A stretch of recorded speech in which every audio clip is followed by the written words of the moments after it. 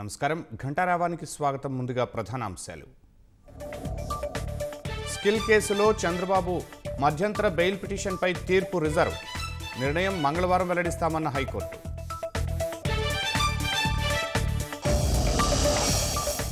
విజయనగరం ఆసుపత్రిలోని బాధితులకు సీఎం పరామర్శ. అనంతరం ప్రమాద స్థలి వద్ద ఏరియల్ సర్వే.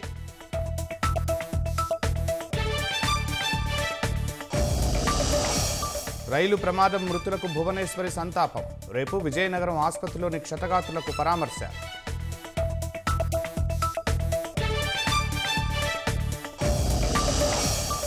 ప్రమాదం జరిగిన పంతొమ్మిది గంటల్లోనే ట్రాక్ పునరుద్ధరణ. ప్రశాంతి ఎక్స్ప్రెస్ని విజయవంతంగా నడిపిన అధికారులు.